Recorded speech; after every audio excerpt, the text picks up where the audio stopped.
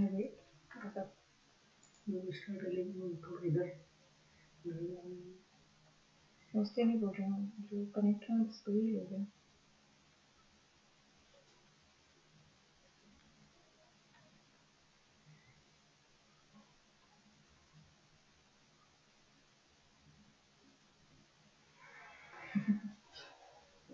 मैंने टेस्टिंग किया था ठीक ठाक आया था।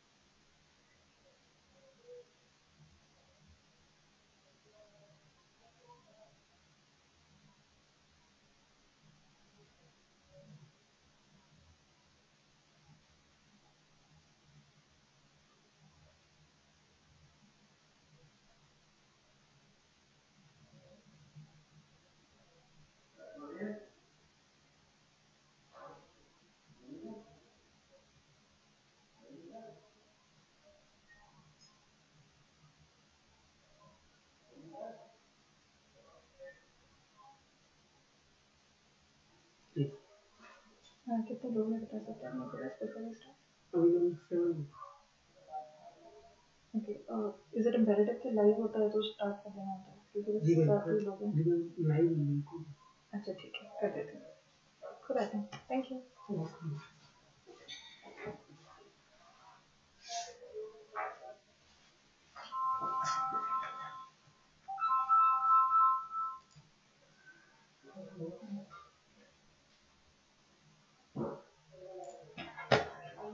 okay All right. Uh, hello, everyone. So, uh, for today's class, we'll be discussing antiseptics and disinfectants. Uh, normally, uh, it's a very dry topic. So, for those of you who already joined, I'll just give you a brief of what we're going to do today. It's, you know, normally most people who teach pharmacology or most people who teach you this topic are going to tell you it's a very dry topic. But in this present scenario, in this era of pandemic where people are disinfecting most things that are available to them, it is very, very important for us as healthcare professionals to understand what these antiseptics and disinfectants are to basically know where which product can be used. So for that, you need to understand the different types of antiseptics and disinfectants that are available and what are the different uses and very importantly, what are the precautions that you need to take care of you know while using either of these products so in a span of say around uh, the next 30 to 45 minutes i'm going to try to give you a brief overview. You should know the names you should know the uses and like i said very importantly you should know the precautions. All right and uh, if you're awake at the end of these 30 minutes i will try to give you a you know a small little trick that will help you remember this topic a little better. So moving on with the topic proper so before you go on to what are the different types and you know learn the big names that are associated with this, let's just first see what are antiseptics and what are disinfectants. So very often in a lot of books you'll come, come across a term called germicide. So you need to know that when you add side at the end of any word, C-I-D-E, it means it kills it. So if I'm saying bactericide, that is a substance that kills bacteria. When I say germicide, it's a general term to refer to substances which have the potential to kill germs. So with that in mind, you've got to know that both antiseptics as well as disinfectants are germicides. So they come under the broad category of germicides. So these antiseptics and disinfectants are essentially agents which inhibit or kill microbes upon contact. The major difference between the two of them is that antiseptics are used on living surfaces like skin or the mucous membrane. So we're talking about soaps, hand washes, you know, uh, or mouth washes, you know, substances like that. Substances that can be used in those substances, in those preparations, essentially to kill all microbes. And disinfectants are used for inanimate objects like instruments or water supply. So Easy way to remember this, antiseptics are used on surfaces that are alive, on living surfaces. Disinfectants are used on surfaces that are dead or inanimate, inanimate surfaces or inanimate objects. Alright, so those are antiseptics and disinfectants. Again, I'm repeating, these come as a classification or a subcategory for the bigger class which are germicides.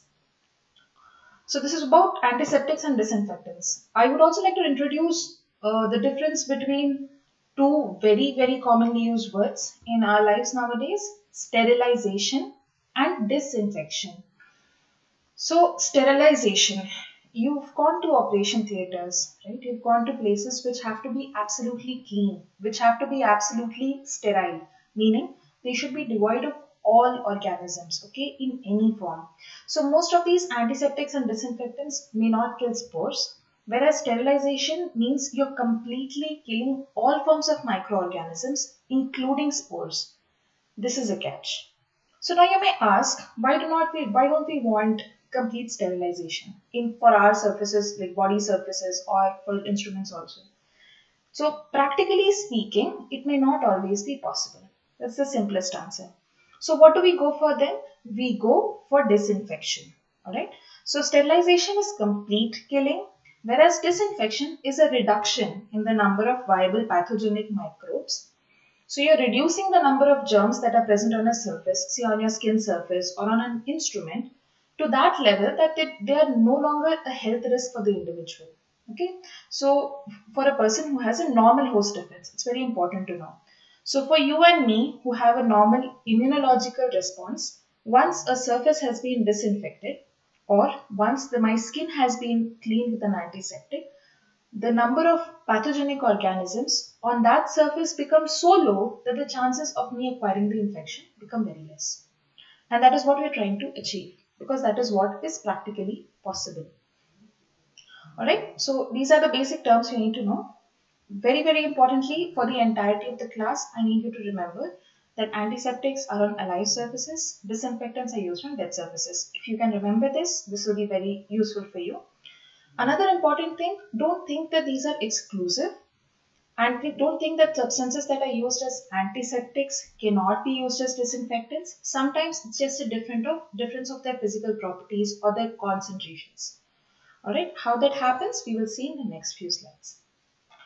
So um, there will be a big list of a list of names or whenever you see classification for antiseptics and disinfectants. That's the part of the reason why it becomes so boring to read them actually. So uh, before you go through this, let's see how they act, you know, a very general brief mechanism for how they act on.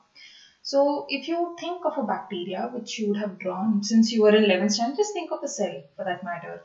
It is going to have a cytoplasm, which is the protoplasm. In case of a bacteria, it is definitely going to have proteins, which will help it survive mostly enzymes that, can, that are contained in it, in that protoplasm.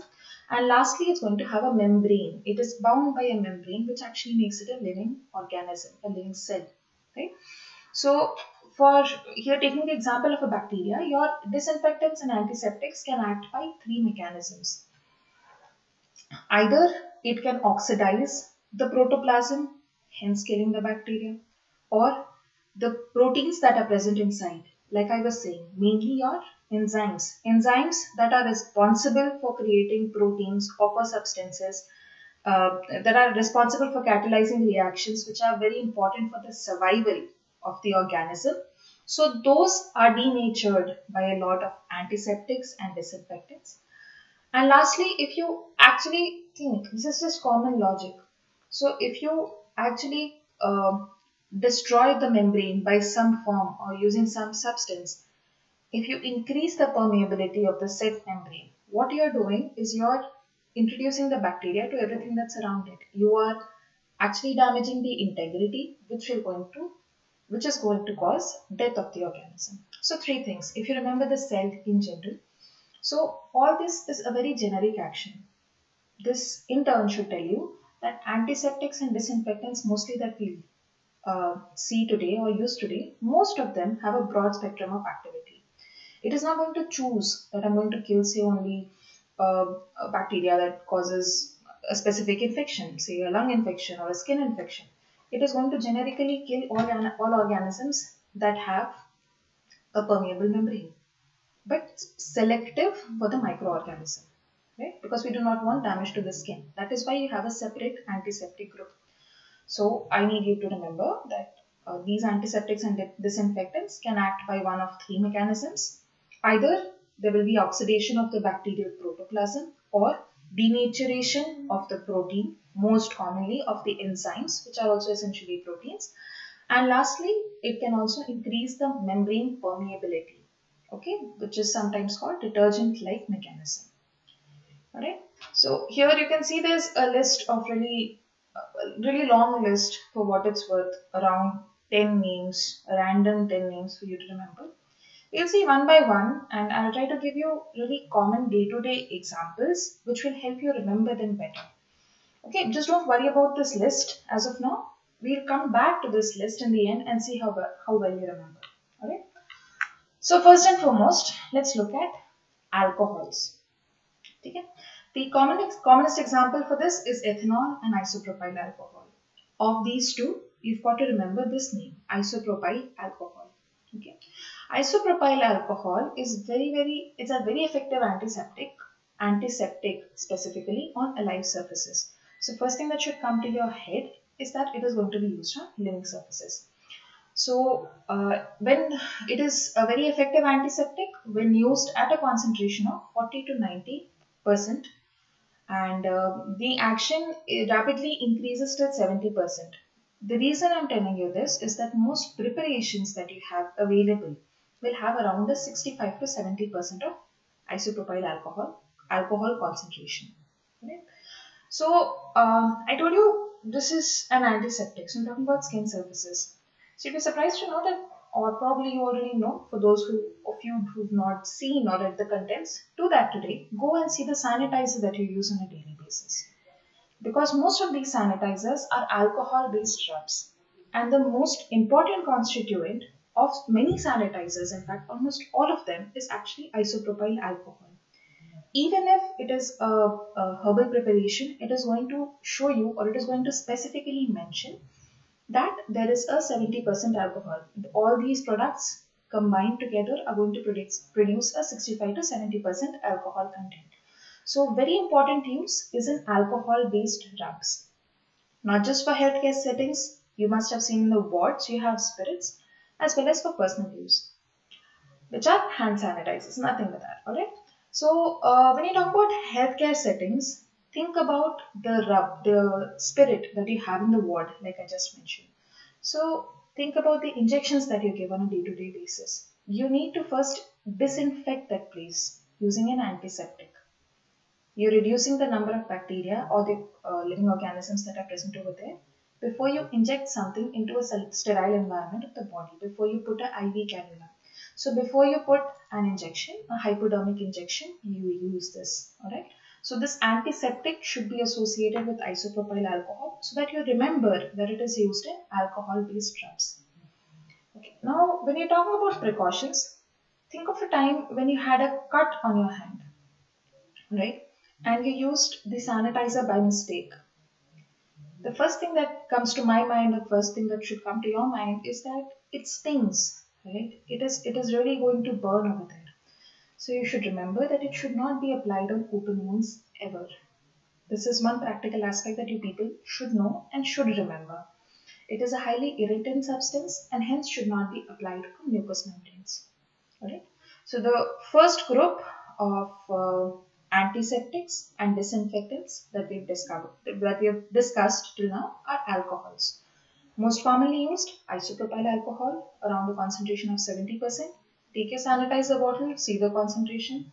Remember that spirits in hospital or wards that we use are most commonly isopropyl alcohol. This is isopropyl rubbing alcohol or spirit. It should be around 70% or the sanitizers which we use at home very, very important. It's an irritant, should never be used on mucous membranes and should not be used on open wounds. So because this is not a one-on-one -on -one class and I cannot see all of you on a one-on-one -on -one basis, I just try to repeat everything so that it is reinforced in a way so that you do not have to go through it over and over again. Okay? So moving on to the next group of antiseptics and disinfect disinfectants that I discussed is biguanide. So uh, the example for this is chlorhexidine. Okay, the name may be a little complicated, but it becomes easier that for you to remember that it is actually used in Savlon. It's one of the components of Savlon. So mechanism, if you want, you can remember if you think you can do, or just generally men mentioning the mechanism of the three effects, you know, that it affects either the protoplasm or it affects your uh, uh, proteins or the membrane. That should be sufficient for you. If you want to remember, you can remember for each individual class as well. Okay. So uh, chlorhexidine, if for chlorhexidine, like I was saying for isopropyl alcohol, you've got to remember rubs, sanitizers and spirit. For chlorhexidine, one thing that I want you to remember is that it's a very important component of mouthwashes in the dentistry. So basically in the dental side, it is one of the most widely employed antiseptic, right? It can either come in the form of a mouthwash, an oral rinse or in the form of a toothpaste. Okay. That is the one of the major uses for chlorhexidine. Apart from that, when I tell you it's a part of Savlon, it should indirectly give you a little bit of clue that it can also be used as a skin antiseptic, right? But first thing you do after you have an injury, it's either Dettol or Savlon to clean your skin. So uh, with that in head, you've got to remember that it also has antiseptic. Of course, it is an antiseptic that can be used on your skin. The other things, it can also be used for surgical scrubbing and neonatal bath. But if you remember that it is used as a skin, like a general antiseptic on your skin or as a mouthwash, this is this is the part I want to want you to specifically remember with chlorhexidine, if not anything else that I've over here. Okay? So the major problem with this is that it can sometimes actually leave an unpleasant aftertaste. Okay, and uh, repeated applications because of the color over here can cause a brownish discoloration. Alright, so just to recapitulate what I told you, we're talking about chlorhexidine. It's not matter if you remember the group or not. Good if you do. It's a biguanide. Uh, it is a cationic antiseptic, which most common, which is the most widely used antiseptic in dentistry. Okay, as either a mouthwash or a toothpaste that I've shown over here, and it's a component of Savlon. Major problems: the taste. The next group that we're going to see are halogens. So halogens, uh, if you go back to a little bit of uh, elementary chemistry, you know, 11th and 12th chemistry, halogens is that uh, fluorine, chlorine, iodine, bromine group. So of that, iodine and chlorine are two most commonly used halogens as antiseptics and disinfectants. So it's not just uh, the gas or the compound itself that is used, but it's also used in the form of a phore. Whenever this word phore is attached in the end with the halogen, it implies that it's nothing but a complex of that substance with a larger molecule, larger organic molecule, basically which acts as a carrier. Uh, specifically, if you see for substances like iodine and chlorine, what happens is they are either unstable or they are irritant.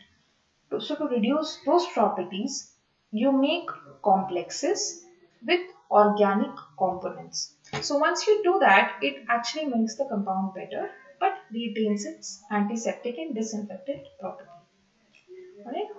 So, let's see first for iodine and then I'll tell you about chlorine. So both of them, iodine as well as iodophore, uh, broad spectrum microbicidal like I was telling you before and wherever it's specific I will mention or the books usually mention if you go through them. It iodinates and oxidizes the bacterial protoplasm and um, again like I said if you can remember well and good if you can't remember well and good just remember the general mechanisms by which it acts. Iodine um, you all would have seen tincture iodine. It's a very, very important part of first aid. You can, um, a mild 2% solution in alcohol. It has a very strong degerming property. Alright, sometimes it's used even before surgery. Another thing you would have heard of is Iodex. Iodex is a non-staining ointment.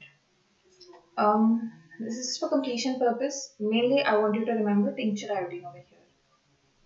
So the problem with iodine is if it's a stronger solution, say greater than 5%, it's going to be corrosive. Okay. So it's going to be corrosive. So the smaller ones, if they have applied on, you know, uh, if the smaller concentration ones are also applied on open skin or an open wound, it's going to have some irritant effect. So now to reduce this irritant effect and to prolong the action, like I said, it's going to have some advantage when you add the word phore. So to make it non-irritant, to make it non-toxic and to prolong the action, you make an iodophore. You combine with povidone. So what you get eventually is povidone iodine which is an iodophore. Okay? So this povidone iodine is something you all would have seen. If not, go and check in your wards, see in your operation theatres whenever you post it there. So these are substances that are used for surgical scrubbing and for disinfection of endoscopes and instruments. Especially if you're going to uh, gastroenterology or ENT, you can actually check this out. Alright, so I said again, halogens I'll discuss two. One is iodine and the second is chlorine. Again, if I'm talking about chlorophores, it is nothing but a soluble complex of chlorine with larger molecules, larger organic components. That's the purpose of adding the word phore to distinguish. Now for iodine, we saw that that iodophore was actually making it non-toxic, non-irritant. In the case of chlorine, what it does is it stabilizes. Chlorine gas is highly reactive. It's, it's very rapidly acting, but it's highly reactive gas. Okay? So what a chlorophore does is that it prolongs its action. It causes slow release of HOCl. This is nothing but hypochlorous acid. Alright, hypochlorous acid. This hypochlorous acid has similar, eventually this also releases chlorine which has the disinfectant property. Okay. The examples over here for chlorophores are chlorinated lime which is nothing but bleaching powder and sodium hypochlorite. Um, for chlorine uh, and for both chlorine as well as chlorophore, bleaching powder for that matter, you can remember that it's used to disinfect water supplies. Very important from a healthcare perspective is that sodium hypochlorite is used to disinfect blood spills. Okay, so I'm showing you over here a 4 to 6% sodium hypochlorite. So normally if you have a 5% sodium hypochlorite solution, that has to be diluted to 1 tenth making it 0.5%. Okay, so after if there is a blood spill ever in the ward, first thing that you need to do, wear gloves, clean the area with normal soap and water, clean it till it is visibly clean, till nothing else is visible in that area which appears dirty. Over that, you have to disinfect the surface using sodium hypochlorite. So the 0.5% sodium hypochlorite that I just mentioned that you can make from a 5% solution that you have to saturate, you have to fill that area with 0.5% sodium hypochlorite. Alright, and then that has to be washed off with a lot of water. Okay, so that is the basic procedure from our perspective, which is important, which is what you need to remember when you that uh, specifically sodium hypochlorite, is used to disinfect blood spills. Now, uh, the main precaution that you need to know uh, is that it causes release of chlorine gas which itself has a potential pungent and an irritant nature. It will have a very typical smell when you mix bleaching powder with water or when you go to pools that have been disinfected with chlorine. You get this pungent really uh, smell which is because of the chlorine gas and uh, it is also inherently irritant in nature. So if you're exposed to a lot of, lot of fumes because of the bleaching powder and water combination, just remove yourself from that area. Alright, and you need to adequately protect your mucosa while cleaning um, with these substances. Okay, so just to recapitulate, so far we have covered alcohols, from which I need you to remember isopropyl alcohol, which are rubs, sanitizers. Second, we discussed biguanides, mainly chlorhexidine, uh, like I said, a general antiseptic as a part of Savlon. And uh, third, uh, and mouth and in dentistry, it's very commonly used. And lastly, halogens. That's the third thing that we discussed, specifically iodine and chlorine, and then phores. So iodophores, povidone, povidone iodine, and chlorophores, which is sodium hypochlorite. Okay, this is just a brief recap for you. Uh, moving on, we'll go to phenols. So uh, phenol, phenyl, which is still so widely used to clean our floors, especially in our country, you just get them in random bottles. So it is one of the earliest used antiseptic and disinfectant. Okay, it acts by oxidizing protoplasm. So it is used, it, it's primarily used as a disinfectant. Disinfectant the dead surfaces. So it's basically used to disinfect, disinfect surfaces wherever there is a urine, feces, pus, putin. So these all can infect an area and those surfaces can be cleaned using phenol. Alright. Uh, these cause skin burns. These are very, very irritant, and that is one of the basic reasons. These have been replaced by more of their derivatives, you know, phenol derivatives such as cresol and chloroxylenol. So, chloroxylenol is the major component for Dettol. Okay. So from phenols, I need you to remember the floor cleaner and chloroxylenol. If you think of Dettol, again like Savlon, it is an antiseptic. So it is non-corrosive, non-irritant to the intact skin. So it can be used, it can be used for surgical asepsis. Also, because it is non-corrosive and non-irritant, it can, and we know, if you think of Dettol, we know it has more of an antiseptic property, can be used on living surfaces. So you have all these skin creams, soaps, hand washes, mouth washes. So chloroxylenol can be a component of all those. So essentially its use is, use, use is as an antiseptic. Having said that, again like I said, these are not exclusive. Any substance that is used as an antiseptic can also be used as a disinfectant at higher concentrations. So Dettol, you know, is also used to clean surfaces if you want to disinfect them. Alright, so important for you to know is that it will lose activity if diluted with water and stored for a longer period. So if you're diluting it, you need to prepare a fresh solution every time. So the next one is an quaternary ammonium compound, cetrimide. See, cetrimide and chlorhexidine, which was a biguanide. Both of them are cationic detergents. Both of them combined together make Savlon. Okay. So from this class, uh, I'll just tell you four names in the end and I would like you to remember, write down those four names if you're still listening and that will just give you a brief of the entire class that I discussed. Alright, so this is also a cationic detergent.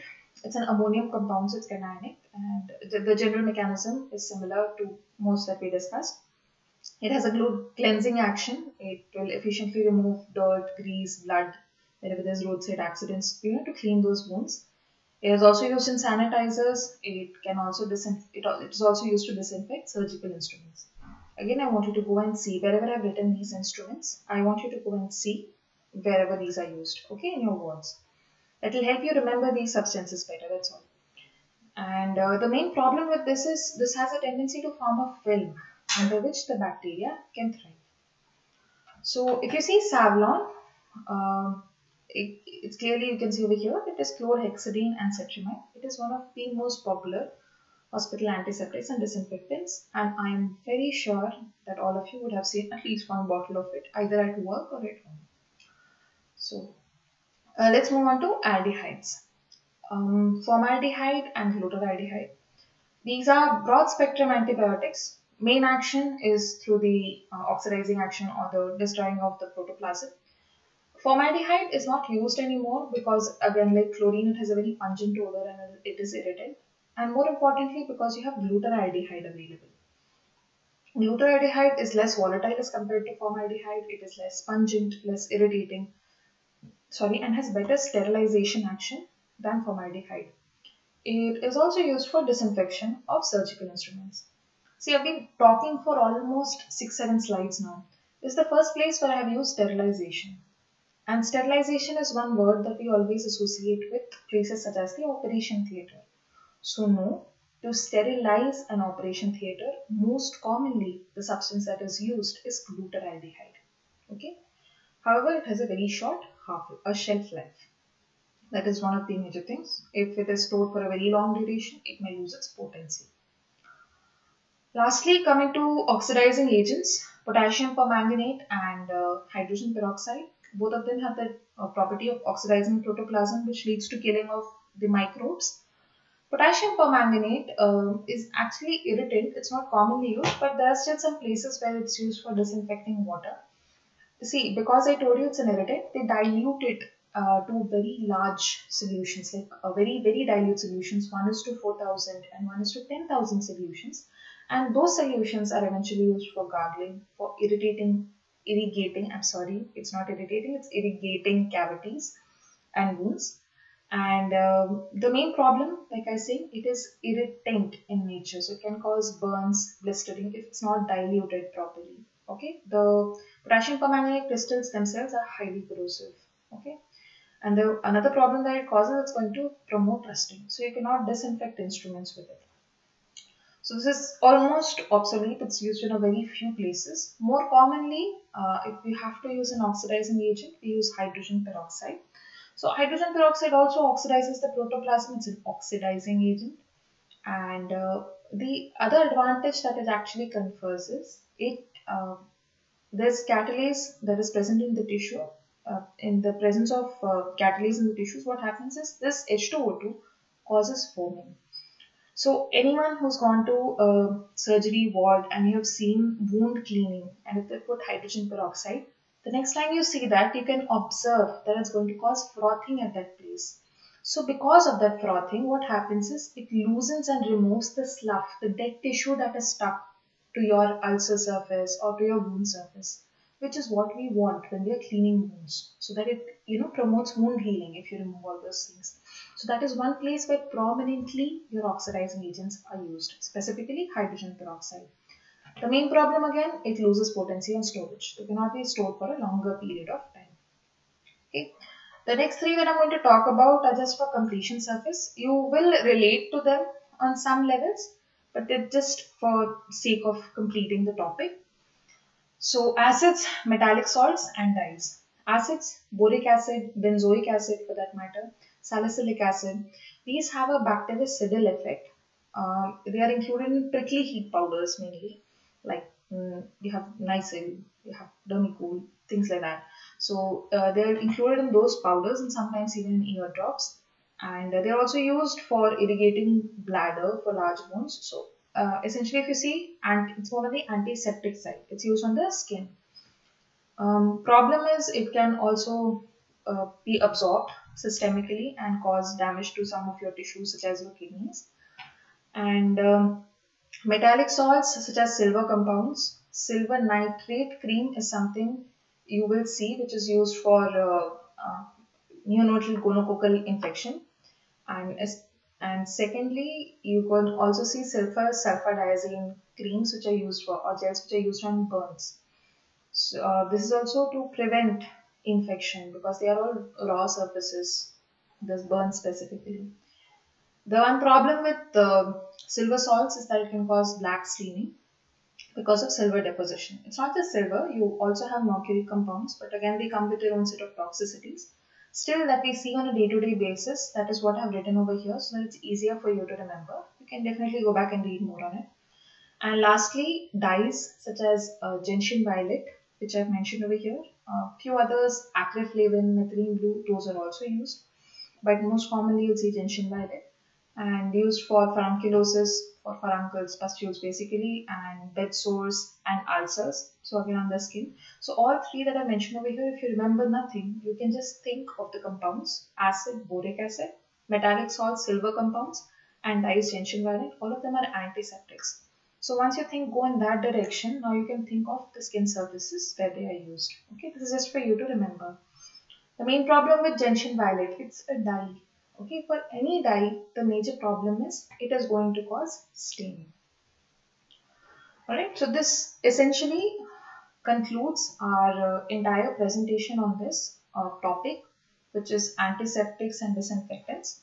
So let me just go back to the beginning and um, when when we expect an answer or when we have an answer, 10 mark question, that is the one thing. This there are just uh, three or four things that I want to carry out of this class. If you are still there with me.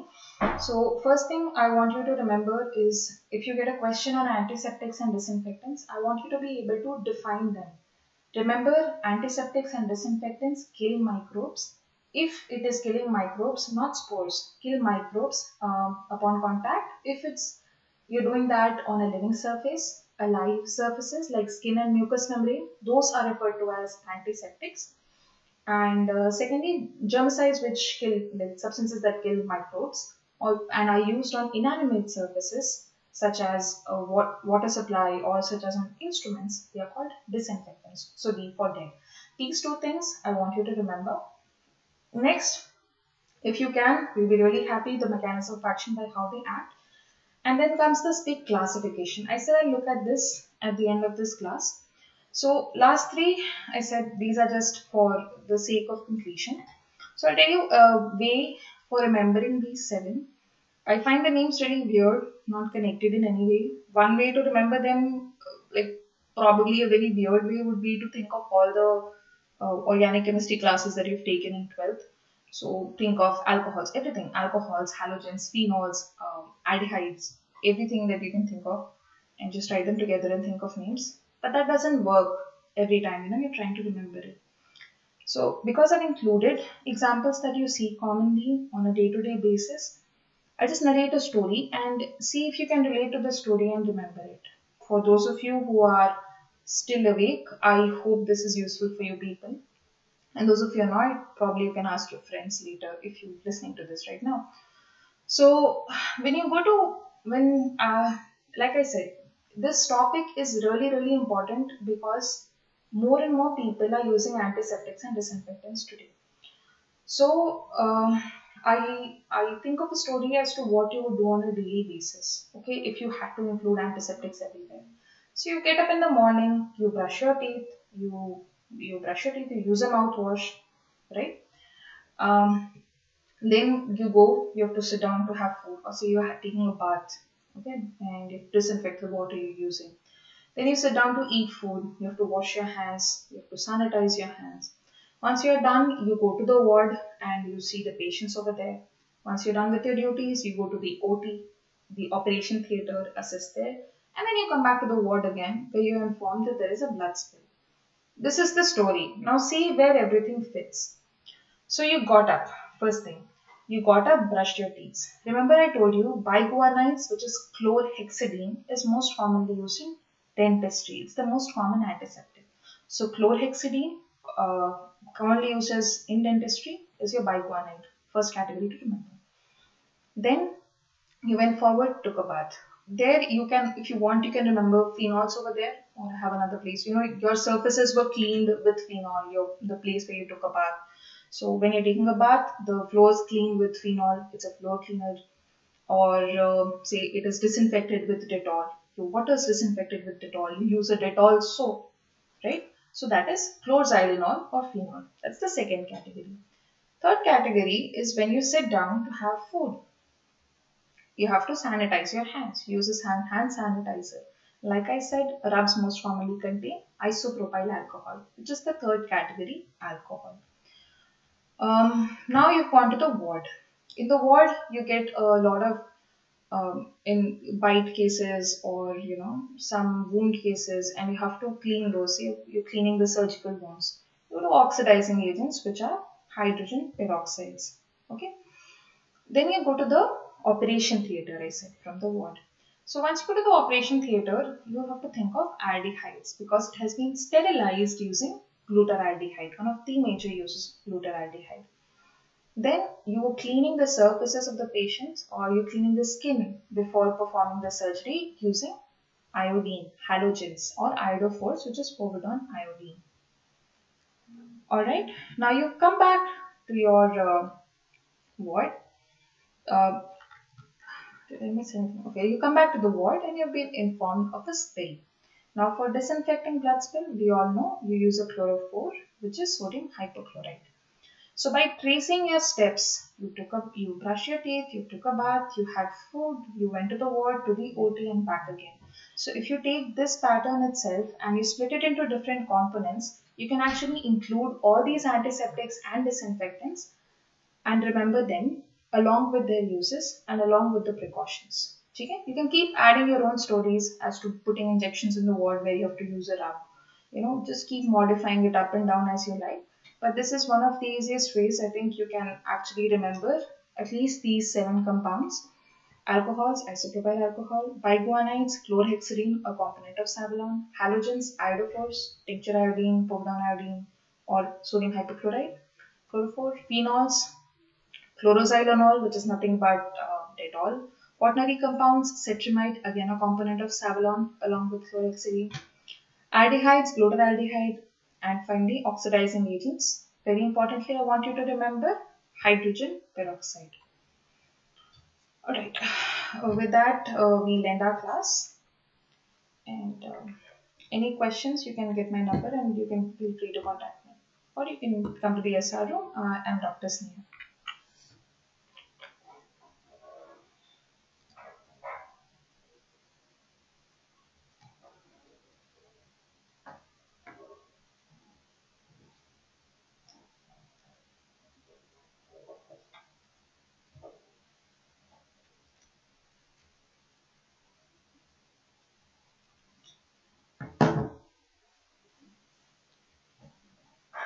Okay, uh, thank you. I'll just see finish this class for you people.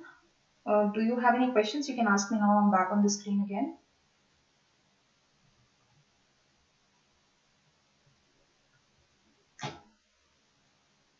I think we'll call it a day.